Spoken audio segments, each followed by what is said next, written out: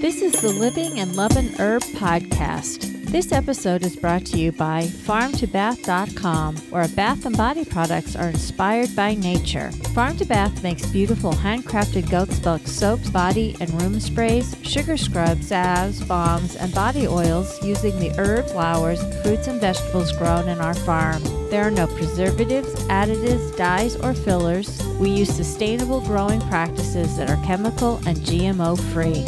So make sure you check out farmtobath.com.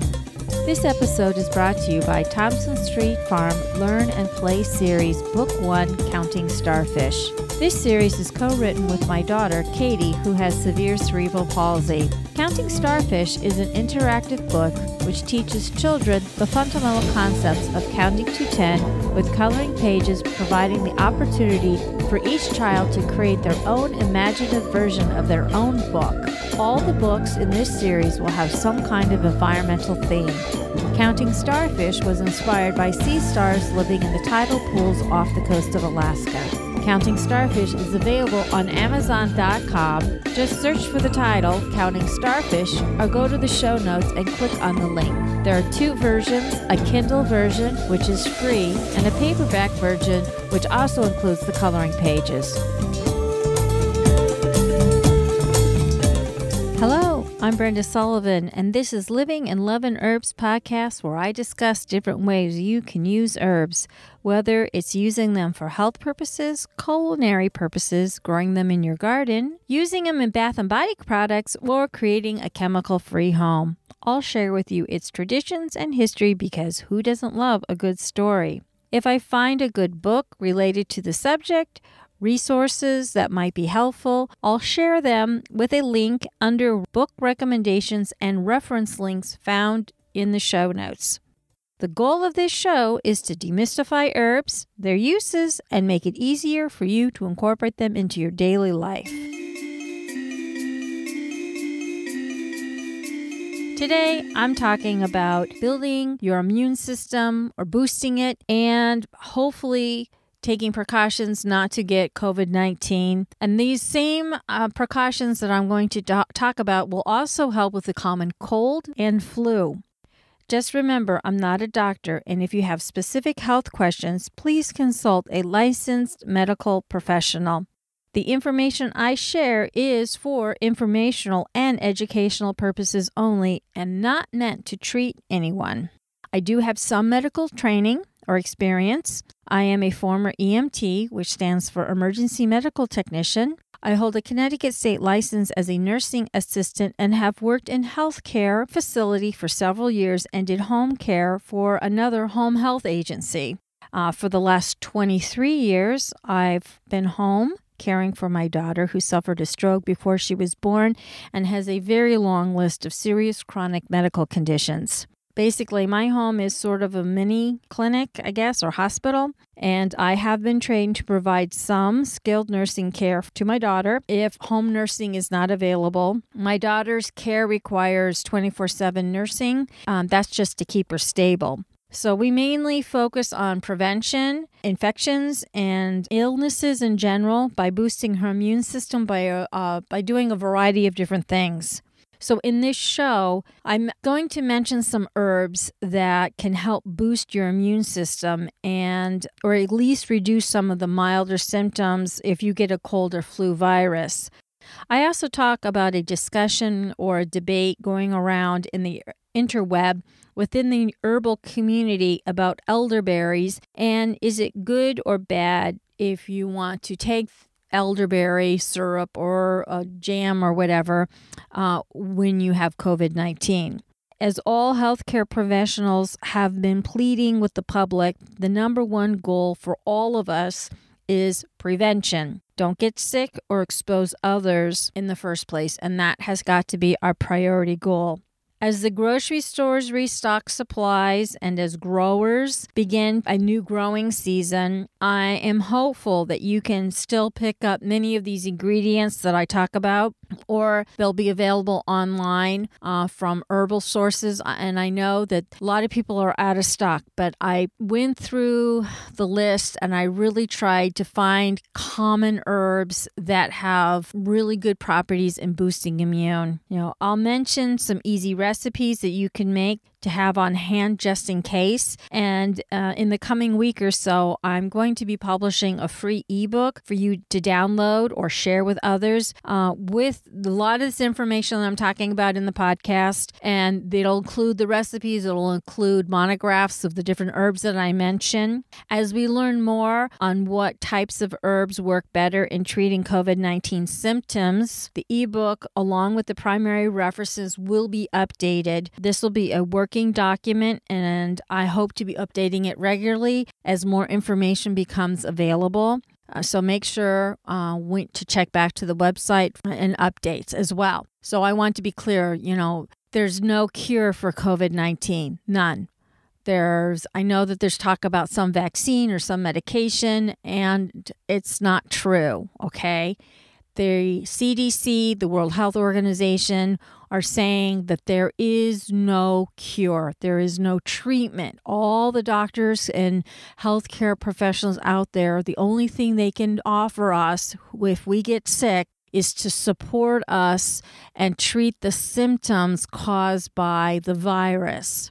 So, having said that, how are you? How are you doing? How did you survive your first week in quarantine? We are now um, this is what Tuesday of the second week um, of of the of the quarantine. My town has shut down. We are no longer allowed to go out except for essential items. The governor has declared non-essential businesses closed. You know, my family is doing well.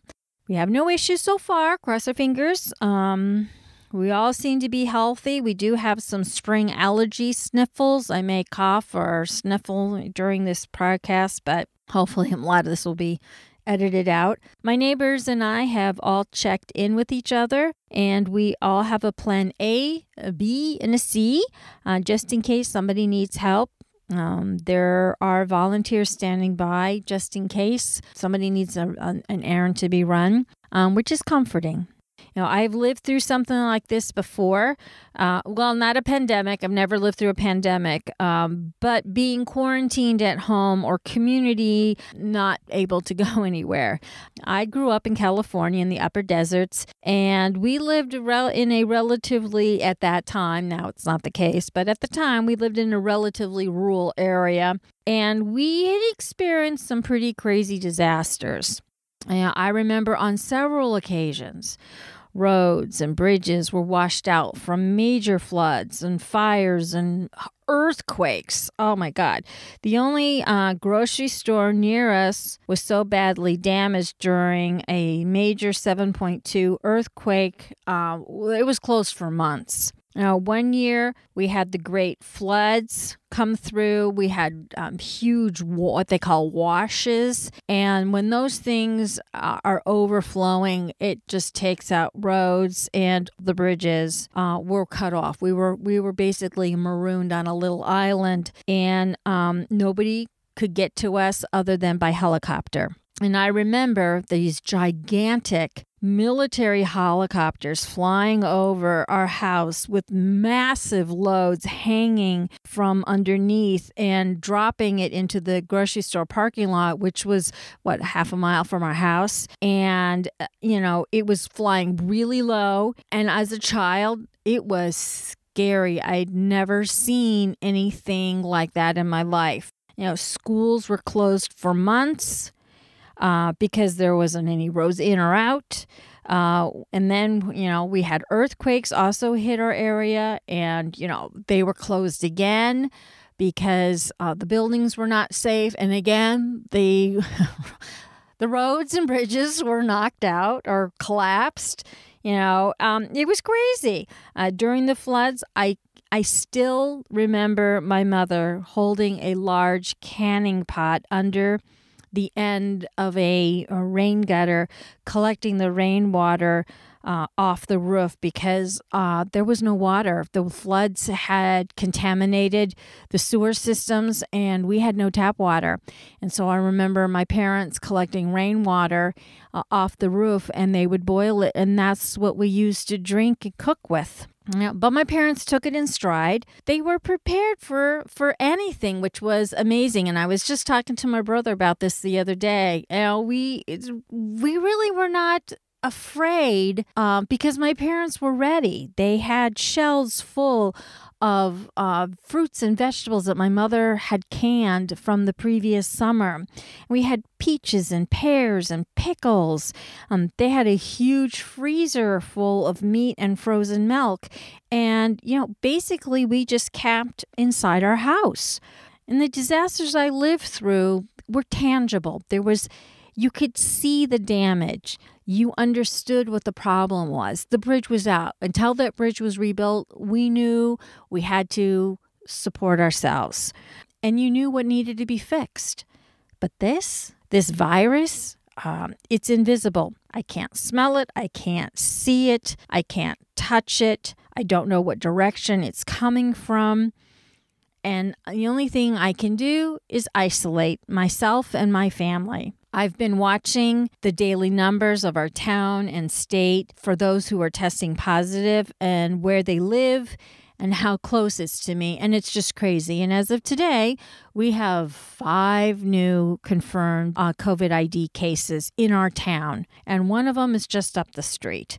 You know, for us living in Connecticut, in my experience of living here for 35 years, I've experienced blizzards and uh, with high accumulation snow rates. I've experienced damaging ice storms and hurricanes. But how do you prepare for a virus? How do you prepare for this invisible invader possibly could affect your life? Permanently. Uh, you know, other than the the staples, you know, my husband thankfully now gets why I bought always bought a little extra food.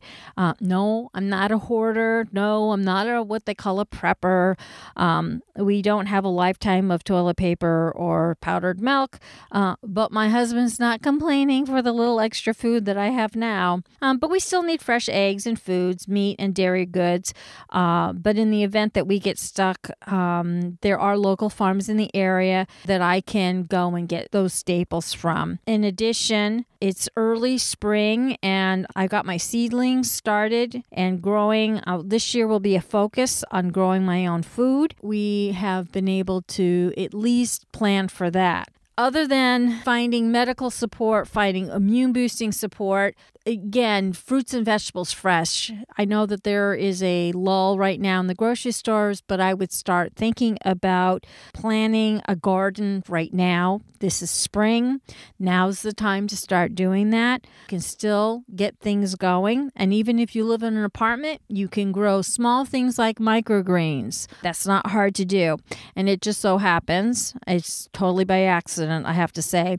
On March 10th, I published my latest book, which is uh, my garden journal, and it has many gardening ideas on how to create a garden, theme gardens, big or small. I also have instructions on how to build a worm farm to make your own nutrient rich compost. So if you have any little kids that are love to do something like that, this is something that can be done right in an apartment. It doesn't matter. So in the event of this international crisis uh, that lasts longer than you know a couple of weeks you know what do we do and uh, my my conclusion is having talked with several people is that you have to create a plan. You have to have some backup. As the virus works through the community and our state and as our united states this isn't going to happen overnight. This is going to be a prolonged process. I have decided that having gone through the physical uh, disasters, I think we also have to work on the emotional and health uh, plan, and that is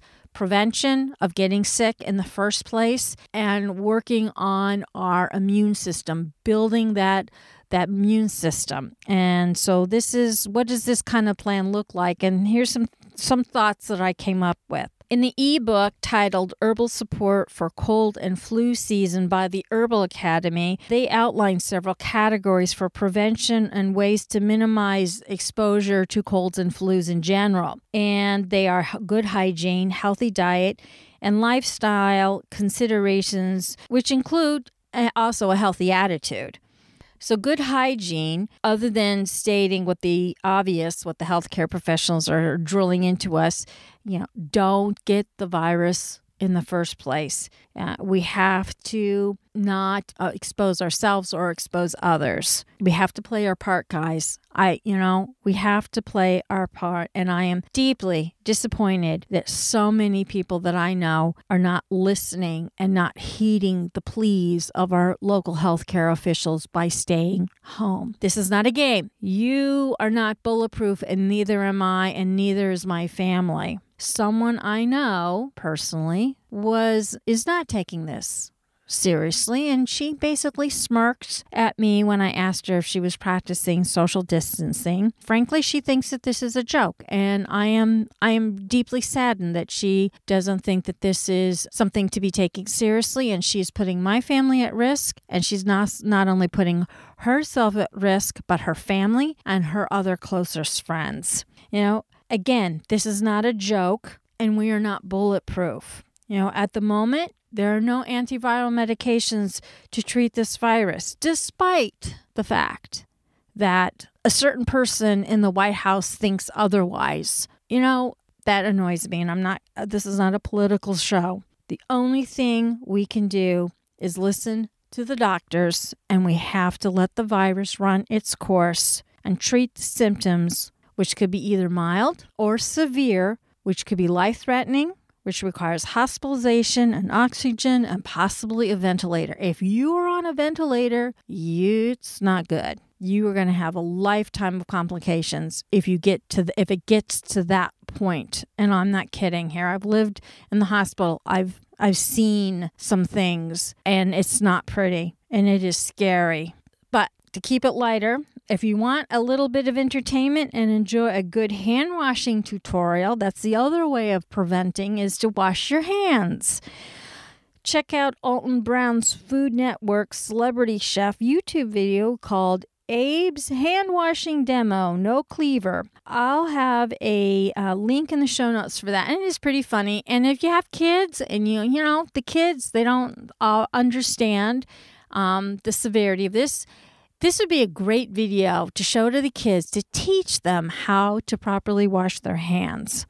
Okay, the other thing is the other big issue out there is, you know, the masks. Good luck finding a mask at this point. Um, but the CDC recommends that masks should be worn if you're sick yourself and or caring for someone who is sick or has autoimmune issues and yes, I have a mask for my husband and I, but this is part of our prevention toolkit when caring for our daughter.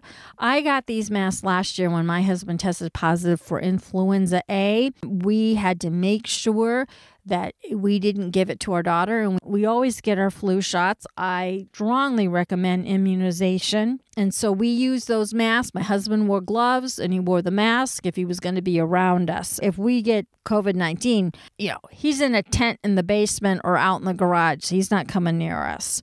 So, in wash down surfaces, uh, frequently. Try not to touch things like shopping carts and door handles and tables and computer keyboards and office phones and chairs and plane seats and seat belts. I mean, anything your hands are touching, don't touch. You know, we don't leave the house without a pair of gloves on. You know, a few weeks ago, when the government was just waking up to all this and alerting us about the seriousness of the virus, and I think that nursing home in Washington state had just imploded with this virus, I happened to be visiting my mother and requires two plane flights. And you bet when I walked through TSA screening wearing a pair of gloves, so I didn't have to touch those containers because a million other people were touching those containers, I went through those screening machines with the gloves gloves on. Yeah, I got a weird look from the guys screening me. I even got pulled over and my bag got flagged to be searched. I had a Clorox wipes inside the bag and the guy pulls it out and he squishes it and he says, these wipes? I said, You bet. And you better believe it. When I got to my seat, I took out those antibacterial wipes and I wiped down my seat, the armrest, the seat belt, the tray table, the TV screen, the overhead air vent, all the reading materials in the back seat pouch. I wiped it all down. Then I offered wipes to any seatmates who wanted to do the same thing because it was the right thing to do. So I want to back up a little bit because the masks I don't know if you can get them at this point or not.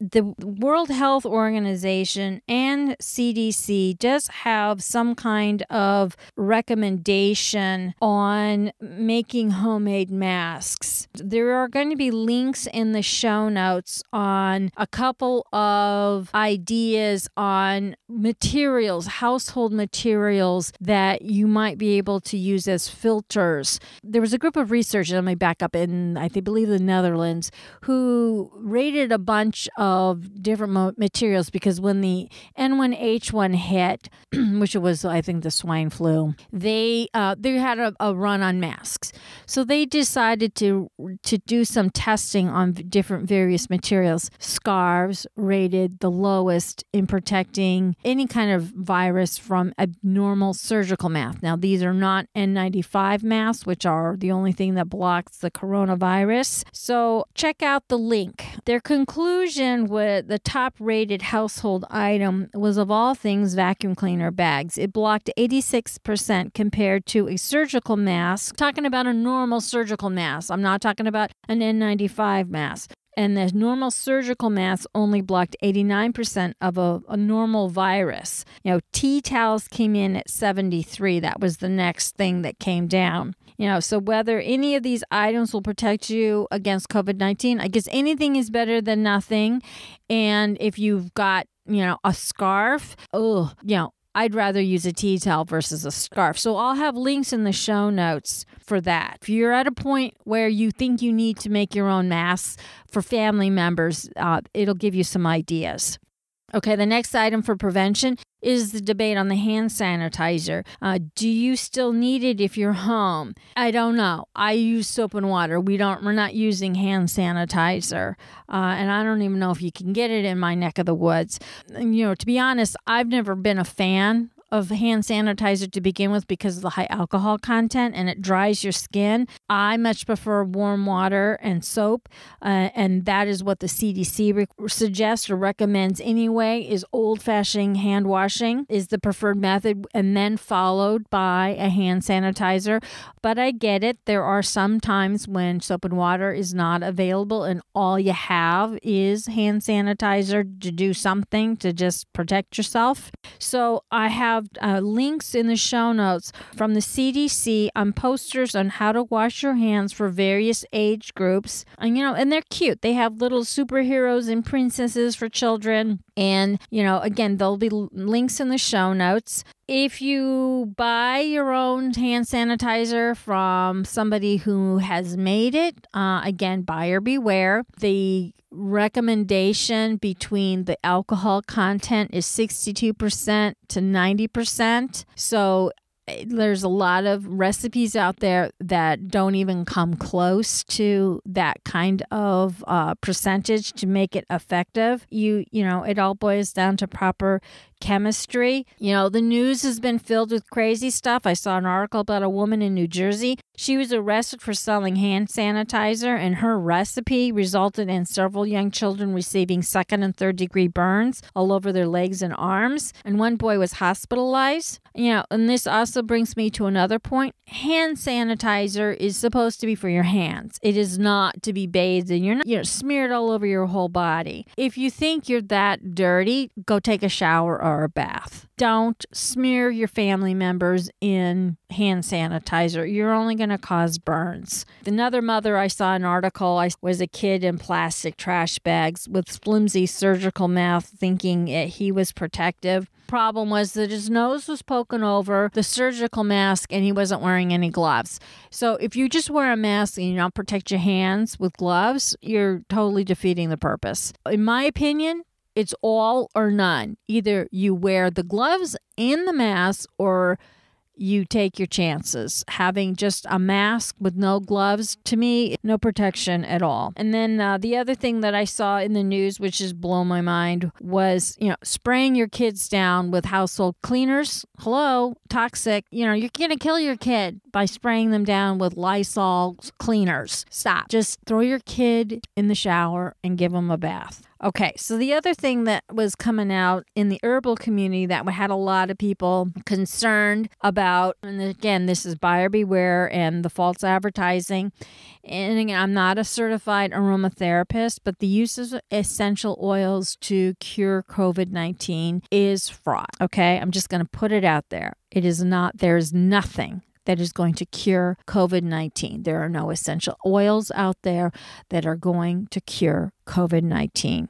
I'm seeing a lot of misinformation out there about how essential oils and their effectiveness. Uh, just because it's natural doesn't mean it isn't safe. Essential oils should never be used directly on the skin and should always be diluted in a carrier oil such as almond oil, olive oil, or some neutral smelling oil. Essential oils should also never be ingested unless they are prescribed by a licensed healthcare professional who has specific training in ingesting oils as a treatment. There are countless cases reported of second and third degree burns and toxic shock, sometimes resulting in death of the person. Some oils, but not all, can be used in diffusers. Adding oils to water for inhalation treatments can be safe, but do your research on sites such as the National Association for Holistic Aromatherapy for information on aromatherapists and classes on proper usage of essential oils.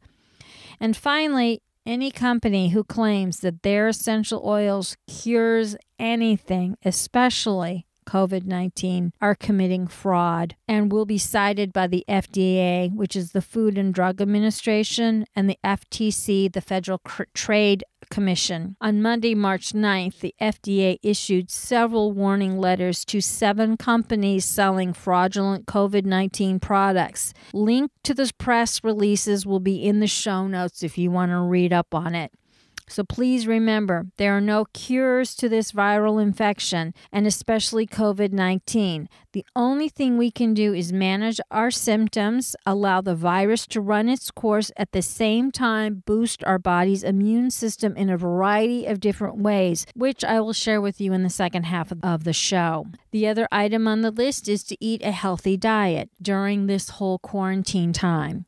Boosting your immune system should be the highest priority at the moment. There are many ways of doing this, but the easiest way is by eliminating junk foods such as sugar and processed food and eat a clean diet. In the next segment, I'll give you some recipes to help you change some things or boost your, your diet. I know eating fast food or takeout, frozen TV dinners is, is easier, especially when the grocery stores are empty. I stopped in my local uh, store yesterday and was surprised at how many shelves that were normally holding staples, such as milk, cheese, and eggs, were completely empty. But understand many doctors and healthcare professionals are urging all of us to take better care of our health and eat as clean as we possibly can.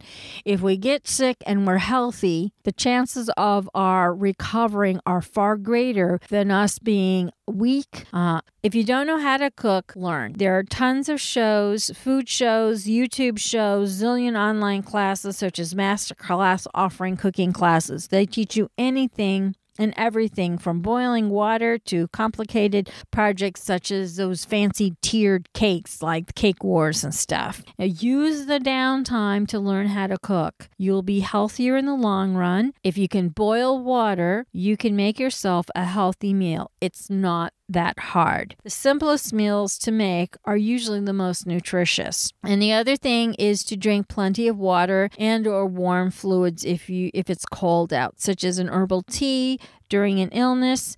You know, staying hydrated helps our our body fight off infection and keeps all our systems running smoothly. And stay away from those sugary drinks. Sugar actually suppresses the immune system. The other thing that we can do to help boost our immune system is eat fermented foods. According to the Cleveland Clinic, eating fermented foods such as yogurt, sauerkraut, pickles, kombucha, kimchi, or kefir are good for optimal health. Our guts have trillions of bacteria, good and bad. Fermented food helps good bacteria break down complex carbohydrates that you eat. According to the article, Five Reasons You Should Add More Fermented Foods to Your Diet, we swallow disease causing bacteria every single day. Sometimes we get sick and sometimes we don't. Eating fermented food frequently helps our bodies fight the harmful bacteria from gaining a foothold. Research shows a less diverse microbiota is associated with chronic diseases such as obesity, asthma, chronic inflammatory conditions such as bowel disease. Fermented foods, as well as probiotic supplements, can also restore good gut health, especially after taking an antibiotic. Because you have to remember when you take antibiotics, it kills everything the good and the bad. And it's important to eat a well rounded diet, which includes fermented foods and a probiotic supplement.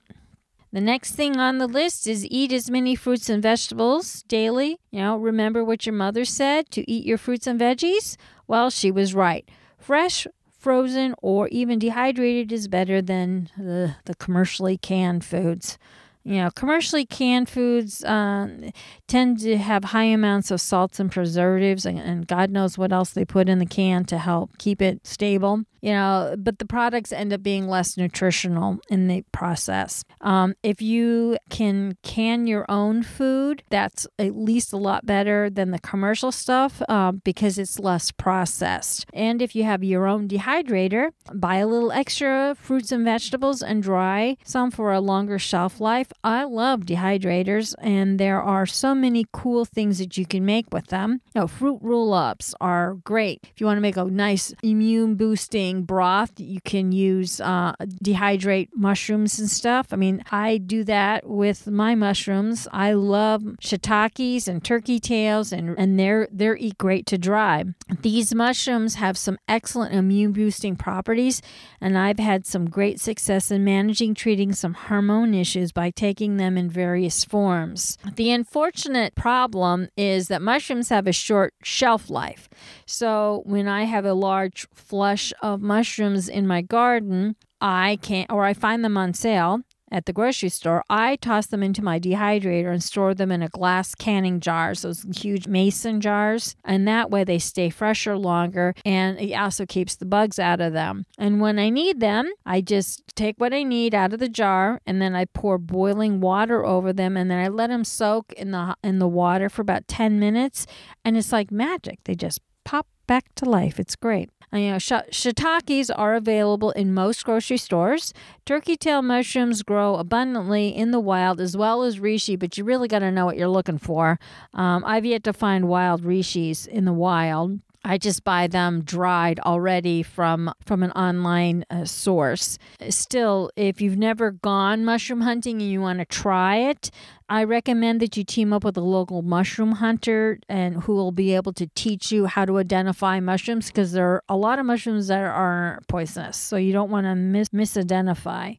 You know, spring is here and many farms are starting their spring season. Now would be a good time to see if any of the farms are offering shares in their CSA, uh, which stands for Community Supported Agriculture you know what that what you do if you don't know what that is is you pay a farmer up front uh, which is called a share. And then in turn they give you whatever they produce in that growing season the other option is getting fresh veggies and herbs at your local farmers market. I know in the state of Connecticut, Department of Ag has decided to allow the markets to open. You know, in my area, the market will be open in late June. So let's hope this virus has subsided or has peaked in Connecticut by June. Uh, because if it hasn't peaked yet, I don't think you're going to see me at the market. I just cannot afford to expose my daughter to any of these viruses and get sick. The next item on the list is lifestyle uh, considerations. If you don't have an exercise routine, now probably would be a good time to start one. It doesn't have to be complicated. Walking for 25 minutes a day gives you a ton of health benefits. And if you want to know more detailed information about some of my alternatives to exercising other than a gym, check out episode number four, Coping with Stress. I go into great detail on how I manage to get my walks in when I'm homebound and can't get outside. I have some pretty good um, things that work. Some really good ideas. So check that out. Some articles I've been uh, I've seen recommended not to go crazy with exercise. The CDC, in their article, Managing Stress and Anxiety, recommends you should continue to exercise regularly and a link to that article will be in the show notes. Get some sun regularly. I know it's been it was snowing all day yesterday, um, but the sun is out today. Vitamin D is necessary to building and maintaining healthy bones. Your body absorbs vitamin D by sun exposure. But if you're like me and live in the northern parts of the country, we don't get outside during the winter months because it's too cold or it's snowing. And as we age, we tend to be indoors more than out, and our bodies don't absorb as much as we used to.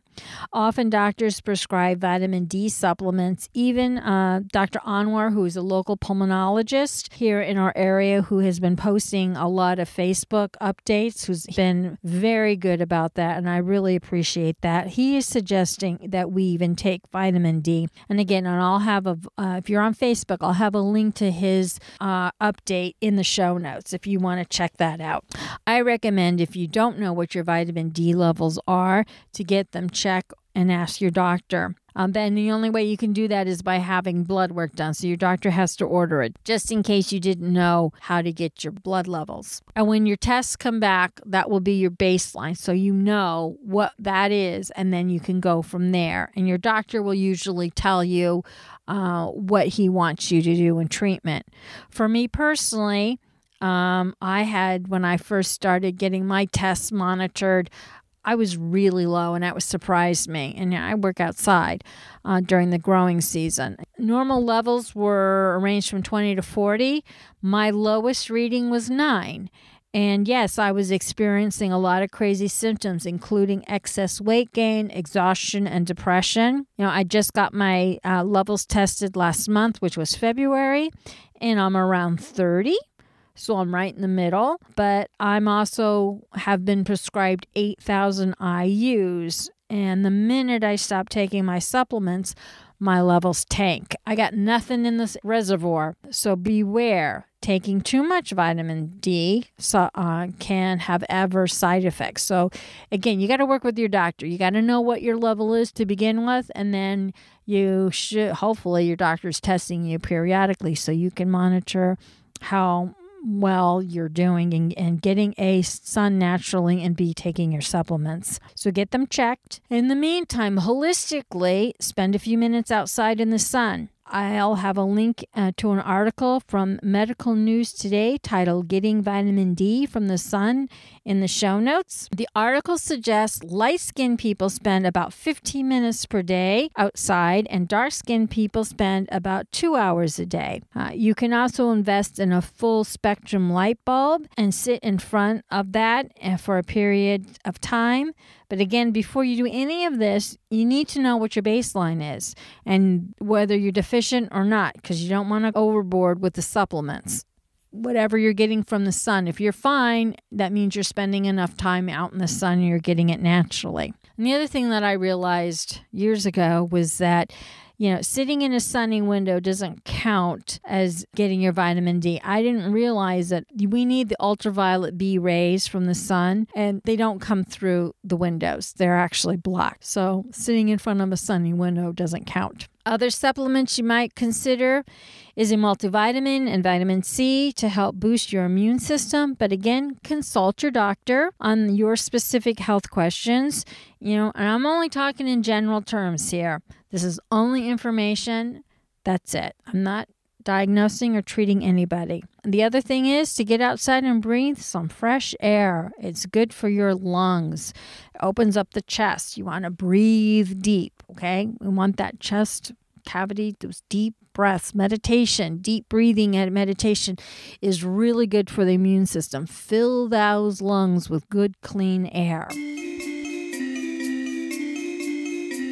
So, part of a preparedness plan is to have supplies on hand. So, in the event your family gets hit by an illness, there is no delay in starting supportive care. Understanding that there is no cure for this virus, the goal should be to minimize the symptoms of the illness at the same time boosting your immune system using readily available foods and herbs because food is medicine. I've been doing a lot of research in the last two weeks on, on information from the herbal community on what herbs may or not work on this virus. And thankfully, some well known herbalists, such as Matthew Wood from the Institute of Herbalism, published information on some conclusions from practitioners in China about what they learned treating COVID 19 patients.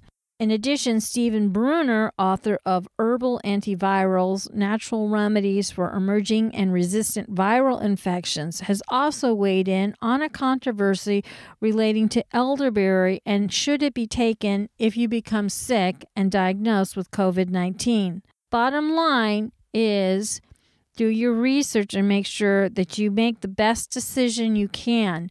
Nobody knows for certain which class of herbs will minimize the symptoms of COVID 19. We know they work in general for colds and flus, but COVID 19 is a different virus, and there hasn't been enough clinical work done at this time for the clinical herbalists to have uh, share their knowledge. So, a lot of this is uh, looking at the chemistry of the herbs and what the symptoms uh, are being reported with, with COVID 19. So I think at the moment, we're just going to have to make the best educated decision uh, with what we have. Beware, some of these herbs may have safety precautions if they're used in concentrated forms, such as a tincture or tea or a syrup. So check for any safety issues, such as allergies or medication interaction and proper dosing before you start taking something. Again, just because it's natural doesn't mean that it isn't dangerous in concentrated forms. So, regarding herbs, so the general consensus I'm hearing from clinical herbalists is if you are sick or have minor symptoms and you think you might have COVID 19, is that they're leaning towards herbs that are warming versus cooling. And, and what does this mean? The herbs that have energetics that produce certain actions within the bodies, and that's what they mean by warming or drying. Herbs can be dry, warming, moist, cooling, or a combination. For example, dry and warming. These energetics are also matched to a person's underlying constitution or body type. And there are a lot of body types, just to not confuse you. For example, if a person's underlying constitution is deficient, they may be pale, with cold hands and feet, feel tired or weak, and prone to certain conditions. An herbalist might suggest herbs that are warming and may carry a drying, uh, to get the circulation moving. And I know that this is an extreme oversimplification. It takes years to be able to properly diagnose somebody's constitution and, and picking herbs that would be a good match. Uh, so I don't want to confuse you. But my point at this moment is well respected clinical herbalists are suggesting working with more warming herbs than cooling herbs for COVID 19 although using a combination of cooling and warming has also been thought to be acceptable. But you want to really focus on opening up the chest so you can breathe deep. Herbs that will thin the mucus so it can pass out of the body and not clog the airways. From what I'm reading and hearing from doctors on the front lines, this virus seems to uh, clog up the bronchioles in the lungs. So you want herbs that are considered warming so, what herbs are considered warming and what herbs are considered cooling? The first herb that I picked was fresh garlic, which has a variety of health benefits such as lowering cholesterol, stimulates the immune system, and thins mucus, and is a warming herb. Some of its herbal actions are anti inflammatory, antimicrobial, and immune stimulant. An idea I mix garlic and local honey. I let it ferment for about three months. And if I have a cold or I'm incredibly stuffy, I'll take a teaspoonful of the garlic and honey a few times a day. But if you don't have three months to wait, if you're brave, you can try eating a fresh clove daily. Good luck if you can uh, stand it. Or the other thing that you can do is add garlic to your food, like soups, sauces, or on top of pizza or roasted chicken, which is what I mostly do. I try incorporate garlic into our meals as much as I can. You know, local honey is very important it has a list of medicinal properties and some of them are you know they help with cough asthma burns cuts wounds eczema dermatitis. Honey is also wonderful as a sweetener. It can be added to teas or other just tasteful herbs you know, for a cold or dry cough. Honey coats and soothes the raw sore throat. And I want to say avoid commercially mass produced honey. Usually those honeys are cut with high fructose corn syrup, and that's why it's cheaper. So you're not really getting real honey. You're getting a, a, a diluted version of it. Find a local uh, beekeeper or a farm stand that sells local honey. I really highly recommend that you support your local beekeepers. I understand farm stands or markets will be open soon uh, during the quarantine, so you should be able to find local honey. Ginger, fresh ginger, not dried, is a warming and drying at the same time. It has a long list of herbal acts such as anti inflammatory, antimicrobial, circulatory, and stimulant. Fresh ginger has volatile oils that stimulate the immune system to fight against bacterial and viral infections. I recommend you keep some fresh ginger on hand if you have any cold symptoms. You know, run the ginger through a juicer and drink ginger juice a few times a day. Thyme, fresh or dried, is okay to use. Thyme's energetics is a warming and drying. It's the perfect herb for breathing difficulties, its volatile oils act as a bronchial dilator and has antimicrobial properties that fight certain bacteria involved in upper respiratory infections. You can either drink it as a warm tea or use it as a steam decongesting bath. But be careful if you already use a prescription inhaler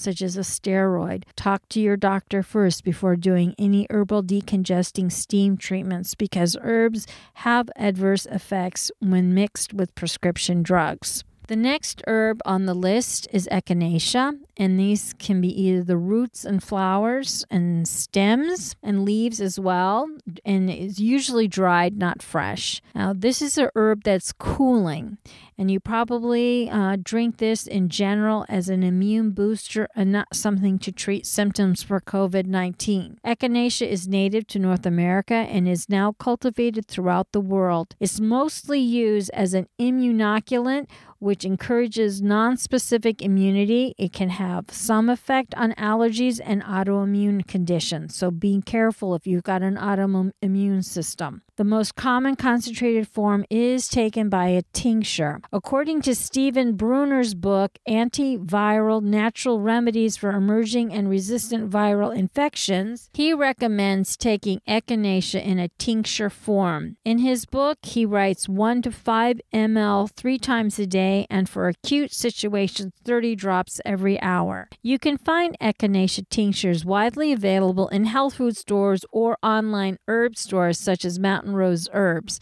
Links in the show notes. And no, I'm not getting any money for recommending anybody. So just know that off the top. I'm recommending them because that works. The next herb on the list is peppermint. Fresh or dried is fine, and its energetics are cooling and drying. If you have an upset stomach, drinking peppermint tea is the best thing you can do. Peppermint is an anti-congestant, anti-inflammatory, antimicrobial, antioxidant, antiviral, and a nervine, which means it's a relaxing and calming herb. This herb also has several other herbal actions, but I'm only going to name the top ones at the moment. Peppermint or mints in general. So if you don't have peppermint, you got spearmint, that will work as well. Are perfect for calming upset stomachs, such as nausea and vomiting, gas, bloating, intestinal cramps, and diarrhea. It's the perfect herb for also giving to children as a tea. Uh, you can drink this cold or hot, and its energetics or cooling properties. The next herb on the list is elderberries and flowers. Just a side note here for many herbalists, elderberries and flowers are the first thing they think of when treating a cold or flu symptoms. However, there is a huge discussion within the herbal community whether elderberry should be given if you have COVID 19. Many leading clinical herbalists, such as Stephen Brunner, author of Herbal Antivirals Natural Remedies for Emerging and Resistant Viral Infections, has been posting comments not recommending elderberries as an immune stimulant if you have COVID 19. And when I say posting, I'm talking about his Facebook page. Stephen stated in his last posting, March 11th, I do not suggest elderberry for the this infection, but rather decocted elder leaf. I am unsure, and everyone else is as well, whether that would cause a flare. Personally, I do not like elderberry for anything. Elder leaf is much better. And what he means by a flare is another herbalist posted an article stating that elderberry and flower may cause something called a cytokine storm, if I'm pronouncing that correctly. Um, and what is that? Okay, what what is that? So the this is described by Dr. Randy Cron, MD, PhD, in an article titled "COVID 19: Do not forget the host in treating this disease." A cytokine storm is the result of an immune system gone wild. The body's own killer immune cells are often defective, resulting in increased production of inflammatory proteins that can lead to organ failure and death. So basically, your immune system goes nuts and it starts attacking itself. You end up having major organ failure, and yeah, some people have died. Has this been confirmed? No, there is no evidence at this moment on whether elderberries will cause the immune system to ta- attack itself or not. So beware if you're an elderberry lover and you swear by elderberry to treat colds and flus both Stephen and Matthew are suggesting that you save your elderberries for your next common cold or flu and skip it for treating symptoms for COVID 19. So, as aside from using elderberries for COVID 19, they are a wonderful herb in general, and the herbal actions are anti inflammatory, antioxidant antiviral, immune stimulant. The flowers are alternative anti inflammatory, antispasmodic, diaphoretic, diuretic, and of all things, it's a nervine, which means it relaxes the muscles. Its energetics are cooling and commonly used to address symptoms related to cold and flus. Again, uh, because we're running into the growing season, you don't want to use unripe elderberries because they're considered toxic and could cause severe illness such as nausea, vomiting, diarrhea. Fresh berries also contain um, cyanogenic gla- glycosides and should not be eaten in large quantities. So, what a lot of herbalists do is that they cook the uh, the berries. Um, they dry them. Well, I use them dried. I don't use fresh berries, although I do have some plants that I are sitting in my greenhouse right now, waiting to be planted. I'm just waiting for the weather to warm up. Um, so they will be dried most likely, and then I will use them from there. I will cook them down and reduce the the glycoside content.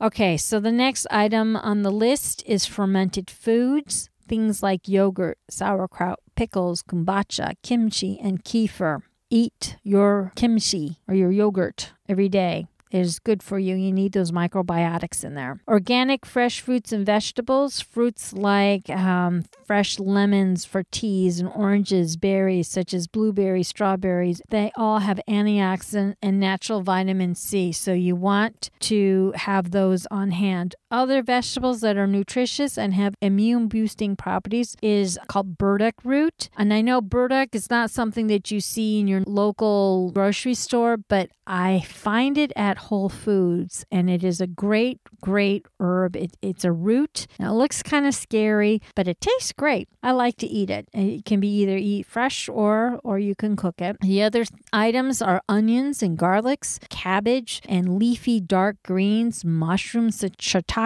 and turkey tail. You should also have variety of herbal teas on hand that will help you treat cold and flu symptoms. The other thing that you should have on hand is organic apple cider vinegar with the mother. You don't want the distilled apple cider vinegar. That's not going to give you the health benefits that you need. This is handy to have on hand so you can make a very simple drink called fire cider, which is fermented vegetables with extract of a boatload of immune boosting properties in general. Fire cider has warming energetics, and it's always good to have this on hand. And if you want to learn more about fire cider, I recommend you check out episode number two of our podcast, Immune Boosting Tonic The Gift Rosemary Gladstar Gave to the World. I go into incredible detail detail on the history of it and the recipe. And there's uh, pictures on the show notes of my process of how I make fire cider.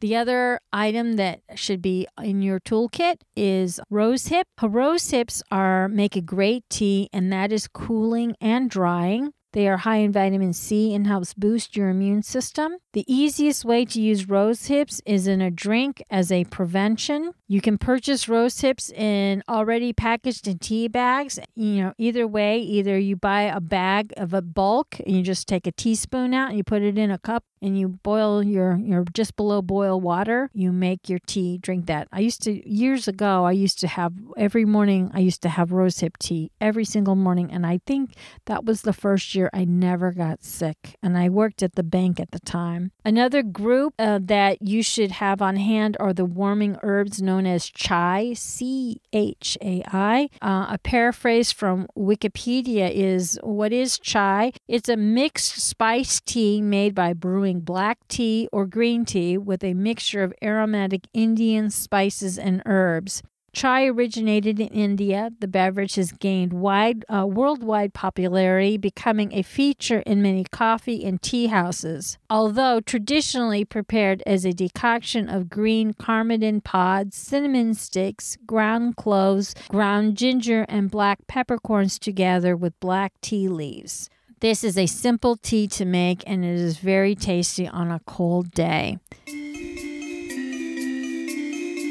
So now we have the um, the last section of our podcast, and I'm going to talk about the recipes in the event that you get sick. So, uh, a lot, again, a lot of these recipes will be online for free download on those show notes, I, and then I will also put all this in a ebook so you can just download the whole thing and you just have a handy reference. Okay, so tea and juice ideas.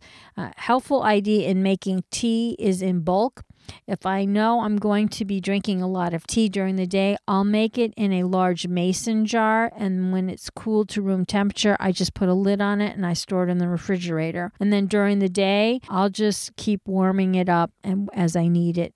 And I put the rest in the refrigerator so it stays fresh. So, honey, lemon, ginger tea. Now, this is for a sore dry, scratchy throat. So you just have one slice of lemon and a few slices of ginger, fresh ginger, not powdered, uh, in a cup of hot water and honey to taste. Let it steep for five to 10 minutes and sip as many cups as you feel needed. Now, again, a word on ginger. Ginger's got to be fresh for the antiviral properties. You need those essential oils. A dried, once the ginger's dried, the properties change. Yes, they're still healthy, but for antiviral, you want that fresh ginger. The next tea I recommend is a mint and lemon tea, and this is perfect for upset stomachs. Um, and it has antiviral and does boost your vitamin C levels. And this, you add a teaspoon of mint and a wedge of lemon to a cup of just off the boil water. Let it steep five to 10 minutes. My other favorite go to tea is rosehip. Uh, rose hips has immune boosting properties and has a high level of vitamin C. Two teaspoons of dried rose hips in a cup of just off the boil water. Let it steep five to 10 minutes.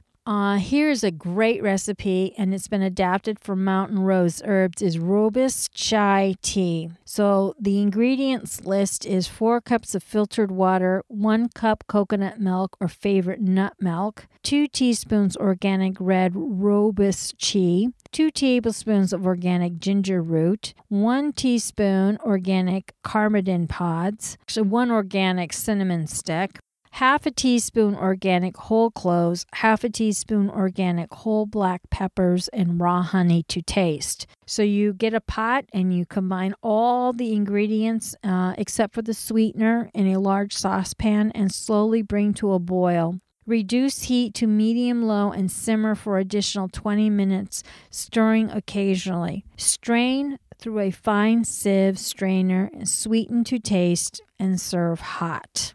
Ginger juice uh, is another item on the list. Uh, and this came from Stephen Bruner's book. It is an antiviral, and again, you recommend your ginger. Run it through a juicer if you got one. If not, grate it.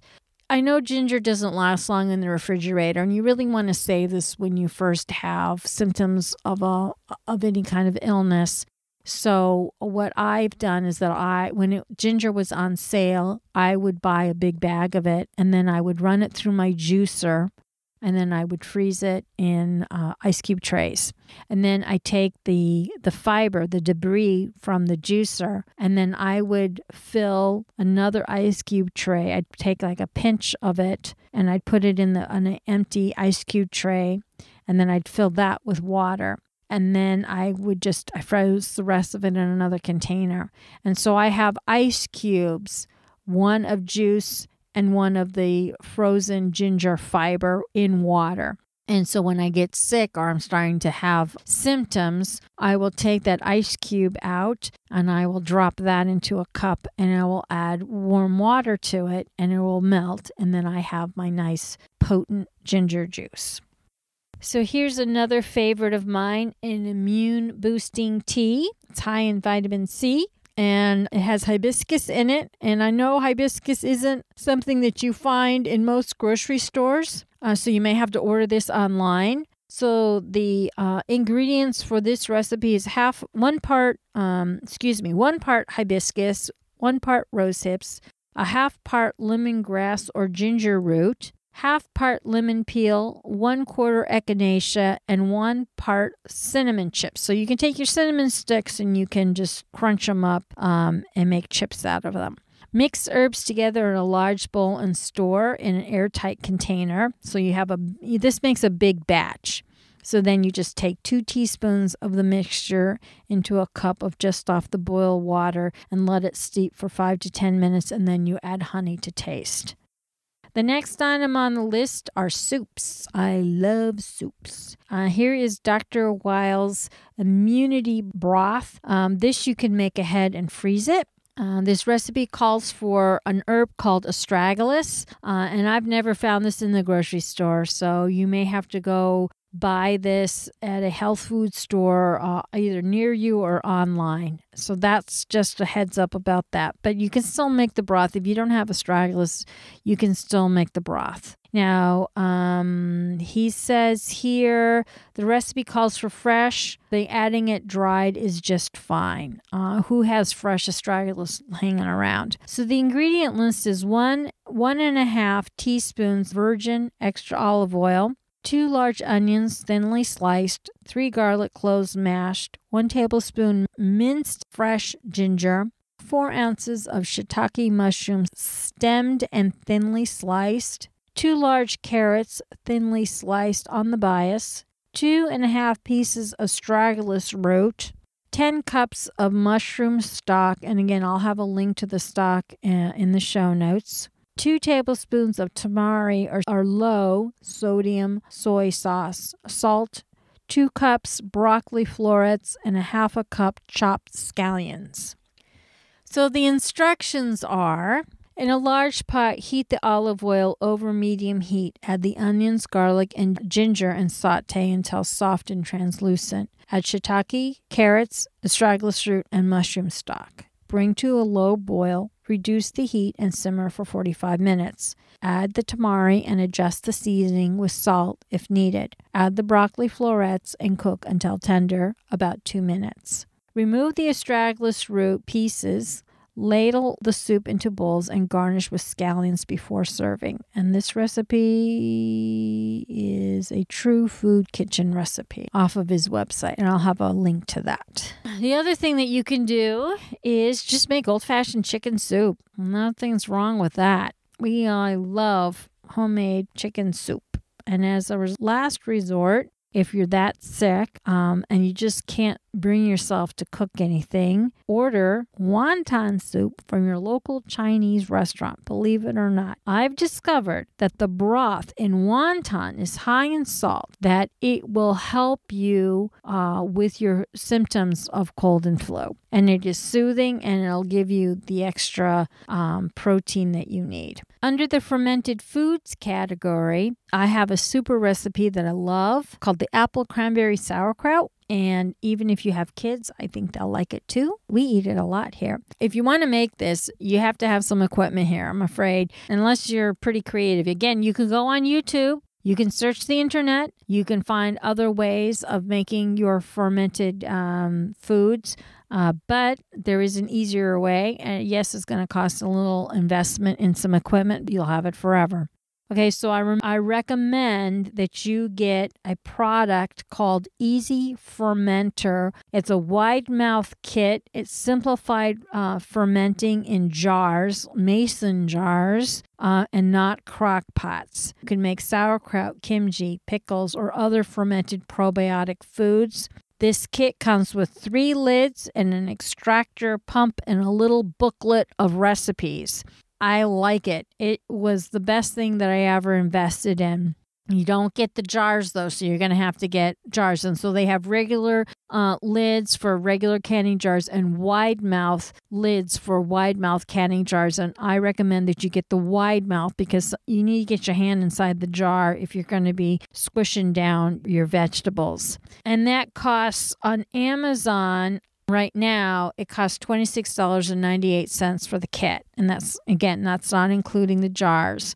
So uh, then I went to my local grocery store and I got a half gallon mason jar. And I think you, do, you get like six of them in a box. You can't just buy one. So you're going to have to buy the box.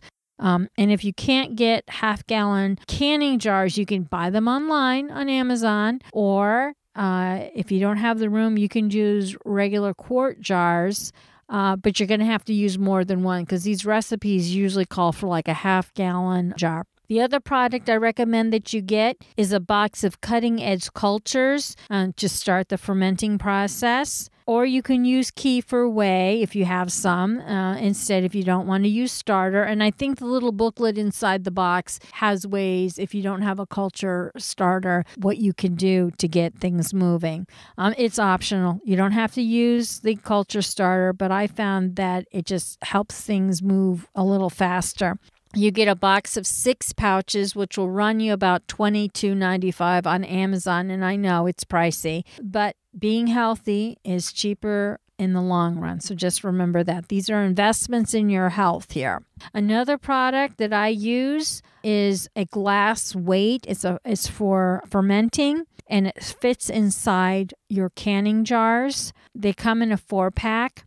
They work great. And I, when I'm done with my fermented process, I just toss them into the dishwasher and I sterilize them and I put them back in the box and they're ready to go for the next batch. And a box of four costs $16.99. So, in addition, before I get into the recipe, this recipe is adapted from uh, a website called Cultured Food Life. So, just for transparency reasons, I, I took their original recipe and I, I adjusted it to suit my needs. Oh, and before I start, no, I'm not getting any royalties from recommending products.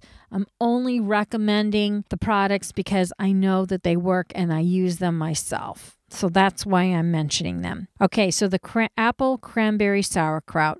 You need one package of cutting edge cultures or a half a cup of kefir whey. Uh, less culture, uh, the powdered culture, if you're making less sauerkraut. One cup filtered water, uh, half of a small cabbage shredded into very small pieces, one medium sweet apple, such as Honeycrisp, and a quarter cup dried cranberries, one medium orange juiced, and you want to keep all that pulp. So you really want to get in there and get all the juice and pulp out of that orange. And then you need enough filtered water to cover the vegetables when you're done when you're putting them in the jar. Step one if you're using the culture starter, you know, you need to dissolve a packet into one cup of the water. If you're using kefir, just set aside your cup till the end. Step two, you want to shred all your vegetables except for the cranberries and put them in a large bowl. Then you add your salt and you mix well. Add the juice of the orange and pulp, and again, you mix well. Now you take your stuff in the bowl and you fill your half gallon mason jar. You may need a tamper to squish the vegetables down. And if you have too much in your jar, then you may have to start a second jar.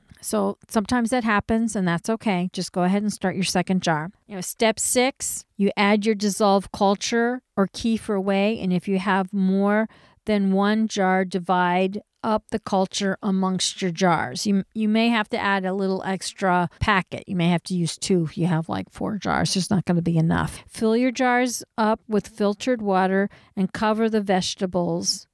Slide a knife along the sides and down the center of the jars of your vegetables to get all the bubbles out. Then you want to drop your weight, your glass weight, on top of your vegetables and fill the rest of the jar up to about a half an inch from the top with the filtered water. You need enough room for the gas to escape. You don't want to fill the jar all the way up. You, need about a half an inch at the top of the jar. Then you place your lid, your airlock lid on the jar, and then you follow the instructions from the Easy Fermenter Kit on maintaining your jars during the fermenting process. So they are going to have to be babysat. You can't just leave them alone and walk away. You're going to have to look at them every day and see what's going on. Now, I like to ferment this particular recipe for about 10 days because I like that light, tangy flavor. Again, you're going to have to test it and see how things are going. Some people really like that zinger sour taste, and so they let that ferment even longer. The next recipe is the Herbal Academy's quick and simple elderberry syrup.